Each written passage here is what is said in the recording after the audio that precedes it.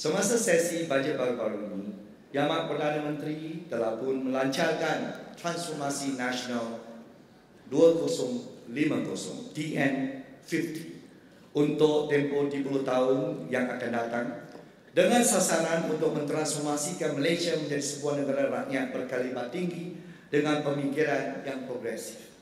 Di bawah kepimpinan saya, MCA menyokong penuh usaha TN50. Thank you sir for launching this TN50.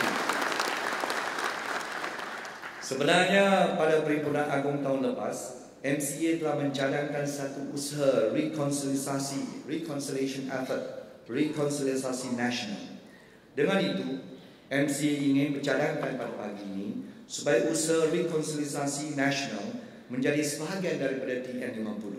Ini selari dengan cita-cita pada pejuang kemerdekaan dan prinsip-prinsip keharmonian dan perpaduan kaum yang perlu terus diperkukuhkan sebagai budaya dan cara hidup harian rakyat Malaysia.